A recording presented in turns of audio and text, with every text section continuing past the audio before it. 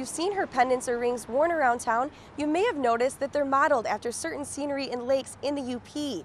But not only are the designs UP based, but so are the materials, and also some collections give back to local organizations. Now, she's about to give us an inside peek in her studio. Come on, Let's check it out. Process itself, you know, sometimes it's loud hammering and other times it's tiny little filing and sanding. And so it's, it is kind of meditative in some sense, especially the sawing, because once you get control over the saw, it is, is just following a line and you're sort of tracing the, the drawing that you made and making it into a, a, a shape in metal. After drawing her designs, Beth moves on to shaping the metal using a fine wire jeweler's saw. Although Beth and her team laugh and enjoy one another's company in the studio, this step is very tedious. The next step is shaping the piece pieces. Then to solder the pieces together, the next step is the torch. 99% of the metal used is recycled.